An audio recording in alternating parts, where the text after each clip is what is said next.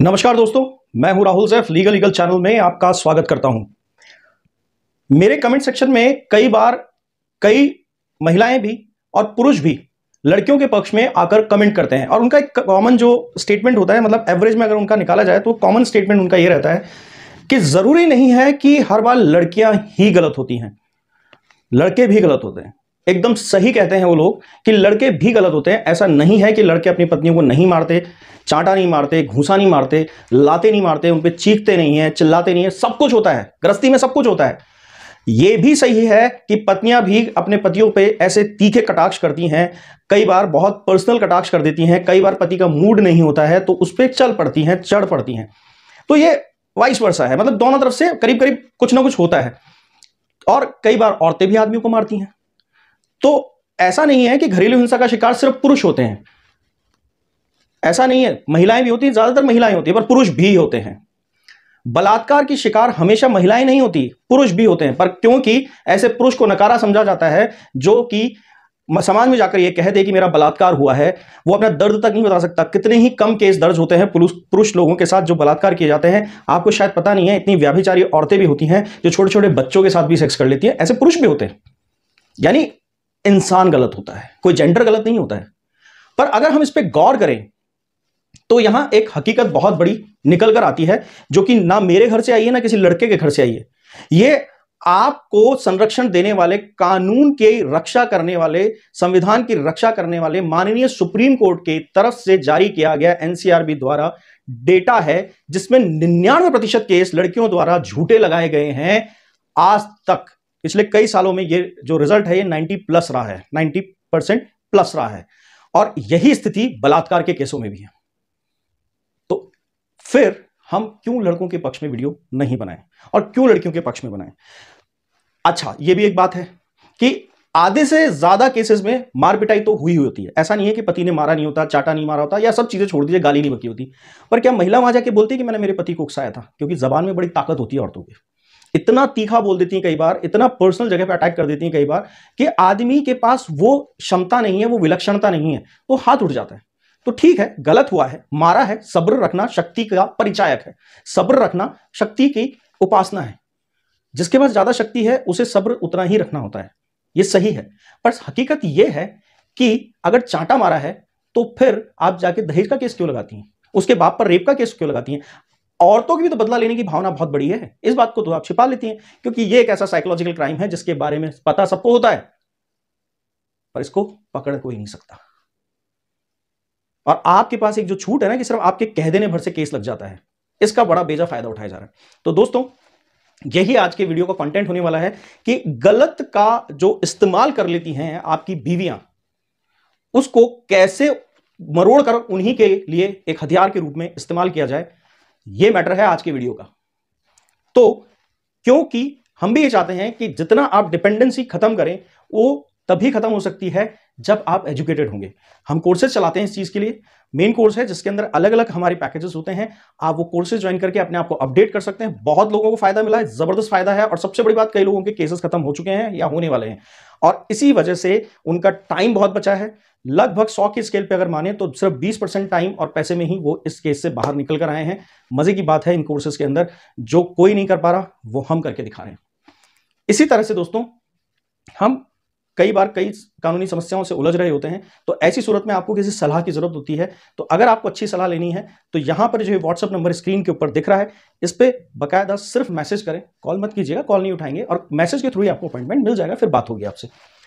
देखिए दोस्तों बड़ा चढ़ाकर अपने लिए इस बनाए कानून का बड़ा बेजा फ़ायदा उठाती हैं औरतें, अपने पति और उसके ससुराल वाल के खिलाफ। ऐसा बवंडर खड़ा करती हैं कि साहब, मैंने 20 लाख रुपए जो है खर्च किए हैं शादी में, मैंने या मेरे पिताजी ने या मेरे घर वालों ने 50 लाख रुपए खर्च किए हैं, बेजा हिसाब लिखा जाता है, कोई डर नहीं, कोई खौफ नहीं, इनको पंपिंग भी की जाती है अच्छी तरह से कि भाई, आप तो मैडम लिख दीजिए, ये पैसा तो मैं चुटकियों वसूल करा दूँगा। कुछ नहीं पता होता है लड़की को कि ये कभी नहीं मिलता, कोर्ट का काम नहीं है। अगर आप पत्नी है और मेरा वीडियो देख रही है ना तो ध्यान रखिए, आज अगर आपके पति ने वीडियो देख लिया, उसने गलती भी की है, गुनाह भी किया है तो इस मैटर में वो आपको फंसा सकता है। इसलिए सोच समझ कर केस लगाइए, उसी तथ्य पर केस लगाइए, जो तथ्य आपके पास है। इसीलिए दहेज के केसेस फॉल्स जा रहे हैं आजकल। क्योंकि बात तो मारपिटाई की होती है, पर तमाशा पूरा किया जाता है आप लोगों की तरफ़ से। मतलब ये हॉलीडे जो पैकेज है ना, ये holiday package four ninety one twenty five और डीवी और ये सब मिलाकर जो आप देते हैं, इसमें एक छोटी सी लाइन और लिख दिया कीजिए ना कि मैं अपने घर, अपना जो घर है छोड़कर, अपने ससुराल को छोड़कर, अपने पीहर जाके क्यों बैठी हुई हूँ? क्योंकि मुझे तो फाइनली ये सब फ़ायदे मिलते ही एल्यूमिनियम एंट्रेंस वगैरह सब मिलते हैं, मुझे तो अपने पति से अलग होना है। ये सच्चाई भी तो लिखा कीजिए ना। आपके मन की जो बेमानी है, उसको कोर्ट को बताइए, फिर देखिए आप केस जीत के बता दें तो। फिर देखिए आप अगर जेल नहीं जाए तो। तो ऐसा ही कुछ करती हैं पत्नियाँ बड़ा चढ़ाकर पचास पचास लाख रुपया पच्चीस पच्चीस लाख रुपए का खर्चा बताती हैं। पतियों, आप एक बात समझिए सबसे पहले।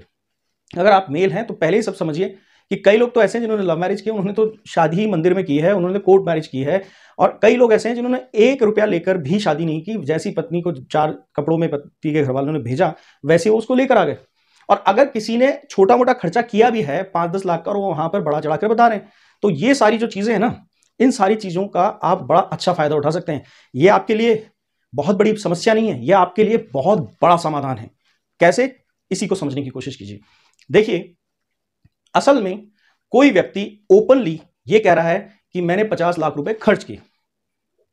अब खर्च किए तो या तो ऑनलाइन होने चाहिए। ऑनलाइन का वैसे तो जमाना है, पर ऑनलाइन अगर नहीं है तो नहीं किए होते हैं, क्योंकि वो हकीकत है कि वो नहीं किए होते हैं खर्चे, इसलिए वो ऑनलाइन क्या दिखाएँगे? पर इनडायरेक्टली वह व्यक्ति अपनी अघोषित आय, अपनी काली कमाई का खुलासा कर बैठा है कोर्ट के रिकॉर्ड में। वो भी सरकारी रिकॉर्ड में, जिसको कल वापस मुकर नहीं सकता है, क्योंकि 498 ए शपथ पत्र के साथ दिया जाता है एफिडेविट के साथ दिया जाता है। बात समझ में आ रही है? अब क्या कह रहा हूँ? फिर समझ लीजिए। किसी ने अपनी काली कमाई, काले धंधे को, छिपे हुए पैसे को जिसपे टैक्स नहीं दिया गया है, उसको बकायदा घोषित कर दिया है अपनी अघोषित आय को। इस अघोषित आय के लिए आप टैक्स इविशन पिटिशन जिसका एक फॉर्मेट हम लोग देते हैं पेड होता है फ्री के लिए बताइएगा बहुत मिनिमम रेट्स में हम लोग अवेलेबल करा रहे हैं, वो फॉर्मेट आप यूज़ कर सकते हैं, उसी फॉर्मेट से ही सब कुछ होगा। तो उसके अंदर ये होता है कि उसको अगर टैक्स इविशन पिटिशन को अगर आप लगाते हैं, कहाँ पर? इनकम टैक्स डिपार्टमेंट में, और बकायदा इसकी सूचना वहाँ देते हैं तो उसको देने से पहले आपको करना क्या है? उसको देने से पहले इनकम टैक्स डिपार्टमेंट से संबंधित व्यक्ति की आय की डिटेल आरटीआई द्वारा आपको मांगनी चाहिए। वो डिटेल जब मिलती है तो पता लगता है कि पिताजी तो मास्टर जी थे। आपके ससुराल वाले जो पिताजी हैं, यानी आपके ससुर साहब जो हैं, वो तो मास्टर थे। तो खींच खांच के उन्होंने पूरी ज़िंदगी में सेविंग भी अगर की होगी और अपनी इनकम का भी अगर पूरा एवरेज निकाला जाएगा तो लाख रुपए से ऊपर भी उन्होंने कभी नहीं कमाया होगा। सेविंग के नाम पे उनके पास आठ दस लाख रुपए भी नहीं रहे होंगे। और अगर व्यापारी भी हैं, छोटे व्यापारी हैं और अपनी हैसियत से ज़्यादा की बात कर रहे हैं तो वो चीज़ आपके फेवर में जा रही है। मंगवा लिया, फिर उस टैक्स एविशन पिटिशन के साथ उसे अटैच करें। इस सरकारी रिकॉर्ड को जो उन्होंने अपने फोर नाइनटी बयान में लिखा है ऑब्वियस से सभी जानते हैं कि पत्नी की शादी जो की थी, वो आपके ससुर साहब ने की थी तो वहाँ पर उसको अटैच करें और वहाँ पर पहुँचा दीजिए। हो गया आपका काम। उसके बाद आरटीआई द्वारा फॉलोअप लेना शुरू कीजिए कि क्या हो रहा है मेरी एप्लीकेशन पे, कहाँ तक, कहाँ क्या क्या मूवमेंट्स हुए हैं। किसके इनकम टैक्स डिपार्टमेंट के यहाँ पर आरटीआई लगानी है, हर बीस दिन से लेकर एक महीने के गैप में। दो बार के बाद अगर आपके आरटीआई का प्रॉपर जवाब नहीं आ रहा है तो आप अपील में जा सकते हैं। सेकंड अपील पर आप हर जाना ले सकते हैं। आरटीआई के प्रॉपर जवाब नहीं देने पर, अधूरा जवाब देने पर, जो भी पूछा गया है टैक्सीवेशन पिटिशन में, वो प्रॉपर बनाया जाए, उसके फॉलोअप लिया जाए, कार्रवाई की बात की जाए। इसके आगे भी रास्ता है, अगर इनकम टैक्स डिपार्टमेंट आपके लिए कार्रवाई नहीं करता है तो आप हमसे संपर्क करें काउंसिलिंग में हम आपको बताएँगे इसके आगे का रास्ता क्या होता है, काम तो करेगा इनकम टैक्स डिपार्टमेंट आपके लिए। अब आती है दूसरी बात दूसरी बात यह है कि इनकम टैक्स डिपार्टमेंट से जो आरटीआई से पहले आपने टैक्सीवेशन पिटिशन लगाने से पहले जो रिकॉर्ड आपने अपनी पत्नी के पिताजी के आय का निकाला, उसके अलावा आप कोर्ट को सम्मन कर सकते हैं कोर्ट द्वारा सम्मन कर सकते हैं सेक्शन 91 सीआरपीसी में कि साहब इनके जो अकाउंट डिटेल्स हैं पिताजी के मांगे जाएँ और अगर ये नहीं दे रहे हैं तो फिर ये अपनी आय का ब्यौरा कोर्ट को दे। जो भी अब तक इनकी आय हुई है, जो खर्चा हुआ है, वो सारा लिखित में दें। पचास लाख रुपए लिखने से कोई नहीं होता है। उसमें क्या क्या खर्चा हुआ, कहाँ का खर्चा हुआ, उसका ब्यौरा ला के दें।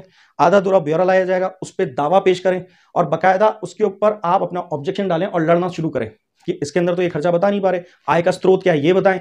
इधर यहाँ से वो फंस रहे हैं, उधर वो टैक्सीविशन पिटिशन के थ्रू फंस रहे हैं। और एक बात ध्यान रखिएगा जब जब हमने टैक्सीविशन पिटिशन लगवाई है और जब जब इनके से इनकम टैक्स डिपार्टमेंट ने डिमांड की है तो सेटलमेंट करने के बाद भी हंड्रेड परसेंट टैक्स नहीं देने के बाद भी पचास परसेंट टैक्स देना पड़ा है। बहुत बुरी स्थिति हुई थी। अभी कुछ टाइम पहले एक लड़की के फादर ने यही सब किया था, पंद्रह लाख रुपया लिखवा दिया था, जबकि शादी में साढ़े छह लाख रुपए ही वो पूरी तरह से समझा पाए, जिसकी पूरा उनका क्लियर डिटेल्स उनके पास थी। तो इनकम टैक्स डिपार्टमेंट ने उतना माफ़ कर दिया। बाकी का जो पैसा था, साढ़े आठ लाख रुपया, उसके ऊपर उन्होंने पेनल्टी चार्ज की हंड्रेड परसेंट हालाँकि उन्होंने आगे का भी टैक्स जोड़ा, पर लास्ट में उनके वक्त देख के, उनकी परिस्थिति देख के, उन पर रहम की गई और सेटलमेंट के नाम पर उन्हें साढ़े तीन लाख रुपए फिर भी टैक्स देना पड़ा। केस खत्म करने की उनकी पूरी मंशा बन गई, इच्छा खत्म हुई केस लड़ने की। उन्होंने कहा, जब यहीं मैं डूब गया तो क्या कमा के खाऊँगा? और उन्हें पता लग गया कि दामाद साहब अटैकिंग है। ये सारी बात बताने का संदर्भ क्या है? ये सोच क्या है मेरी? मेरी सोच ये है कि आप भी मोटिवेट हों। केस को अलग एंगल से देखना शुरू कर दीजिए। केस को सच के पक्ष से देखिए, खुद को मुजरिम मानना बंद कर दीजिए। ये जो हकीकत है ना, ये नहीं है हकीकत। ये जो आपको दिखाया जा रहा है, ये गलत सरफेस है। आप सरफेस को पीछे से देखिए जाके। तब आपको पता लगेगा कि झूठा केस तो बहुत दर्दरा होता है पीछे से, बहुत खुरदरा होता है। उसको कहीं से भी ब्रेक किया जा सकता है। वो अपनी स्मूथनेस नहीं लेके आता है। पर आप क्या करते हैं? आप बस सुनेंगे तो लड़की की जब आपको किसी बेवकूफ़ सलाहकार ने कह दिया कि सुनेंगे तो लड़की की कानून लड़कियों के लिए बना है जज साहब तो आपकी बात मानेंगे नहीं। अरे मत मानने दो ना यार मत मानने दो ना। आ, ये बात सुनकर जब आप कोर्ट में खड़े होते हो तो आप बस गर्दन लटका के नीचे खड़े रहते हैं। क्यों नहीं मानेंगे आपकी बात? कौन सी किताब में लिखा हुआ उस बेवकूफ़ आदमी से जाके पूछिए? कौन सी किताब में लिखा हुआ भाई कहाँ पढ़ के बोल रहा है? मेरे से बात करा दीजिए अगर उसके मैं होश फक्ता कर दूँगा। मुद्दे की बात समझिए। आपको कानून के साथ खड़े रहने के अंदर कष्ट क्या है? कानून जो कहता है, उसके साथ खड़े रहिए। काफ़ी लोग तो मुझे अब ये भी कहने लग गए कि ये जो यूट्यूबर्स बताते हैं, मेरे समय जितने भी यूट्यूबर्स हैं, जो भी बताते हैं, काफ़ी जो सलाहकार है, वो कहते हैं तो सब बकवास करते हैं। और कई बार तो कहते हैं कि, इस स्टेट में नहीं चलते ये, जो ये बोल रहे हैं। ये अलग स्टेट में चलता है। सीआरपीसी और आईपीसी अलग अलग स्टेट के लिए बने हुए सबके लिए कॉमन है कानून। ये हिंदुस्तान का कानून है। इसके अंदर जो ये तथ्य और ये जो बकवास की जाती है ना आपके साथ, और आप उस पर आँख बंद कर विश्वास कर लीजिए, विरोध करिए या फिर ऐसे आदमी को हटा दीजिए अपने केस से। जो इस तरह की असत्य दलीलें दे रहा है, या तो उसे केस लड़ना नहीं आता, या उसकी नीयत साफ़ नहीं है। मुद्दे की बात समझिए दोस्तों, हकीकत यह है, ज़्यादा अच्छा है अगर इतनी परेशानी आ रही है तो अपना केस खुद लड़ लीजिए। हाँ बहुत आसान है। ये ज़्यादा आसान है, क्योंकि आप अपने केस के साथ कनेक्ट कर पाते हैं, आपको सारे फैक्ट्स पता हैं, आप उनके अरेंजमेंट जानते हैं। उस तरह से अपना दम घुटवाने से क्या फ़ायदा कि मैं कहना चाहता हूँ, मैं बताना चाहता हूँ, आप जिसको पैसे दे रहे हैं, वही आपके खिलाफ खड़ा होकर कोर्ट के अंदर आपकी सारी कार्रवाई ब्लॉक करा रहा है, बाद में पता लगता है रसीद फाड़ के पकड़ा दी, आपका केस फेल हो गया। तो बेटर है ना कि अपना केस को सही तरीके से लड़े। तो आज के इस मैटर को इस तरह से यूज़ कीजिए और अकेले में कर लीजिए, किसी को बताने की ज़रूरत नहीं है कि मैं ये सब करने जा रहा हूँ, वरना फिर मिसगाइड होंगे। अपने दम पे कर लीजिए, जो आज की तैयारी मैंने बताई है। मगर इससे होगा क्या? फ़ायदा क्या होगा? इसको समझ लीजिए। इससे फ़ायदा यह होगा कि केस सिर्फ़ दो महीने भी नहीं चलेगा। अगर ये ट्रिक यूज़ कर ली तो। आपके खिलाफ लगाए गए सारे केसेस में सेटलमेंट की पोजीशन आ जाएगी विदाउट स्पेंडिंग अ सिंगल पैनी एक रुपया खर्च किए बगैर ही। यानी आपको सामने वाली पार्टी का झूठ जब आप सामने लाने लगोगे उधरने लगेगा केस तो वो भगेंगे अपनी धोती लुंगी बचाते हुए। एनीवेज आपको मज़ा आना चाहिए। इसके लिए वीडियो नहीं बनाता हूँ मैं। आपको नॉलेज मिलनी चाहिए और आपका उत्साह का वर्धन होना चाहिए। आपका जोश बढ़ना चाहिए। इसलिए वीडियो बनाता हूँ मैं। तो अपने आप को एक इनपुट दीजिए इस वीडियो से और एक एडवांटेज लाइए अपनी लाइफ में कि केसेस से जल्दी जल्दी बाहर आ सकें। कमेंट करके जाइए क्या सीखा आज के वीडियो से और क्या करने वाले हैं इस वीडियो को देखने के बाद। शेयर कर दीजिए उन लोगों को जो आपकी तरह जरूरतमंद है। यहाँ सब्सक्राइब कर दीजिए। मेरा वीडियो देखते रहते हैं या पहली बार आए और अच्छा लगा तो यहाँ नीचे लाल बटन में दबा के जाइएगा और बगल वाली जो घंटी है इसको दबाएँगे। ऑल का ऑप्शन आएगा। मेरे रेगुलर वीडियोस आपको मिलते रहेंगे। साथ में आप खुश रहें और अपने केसेस को जल्दी जीतें। ये मेरी दुआ है।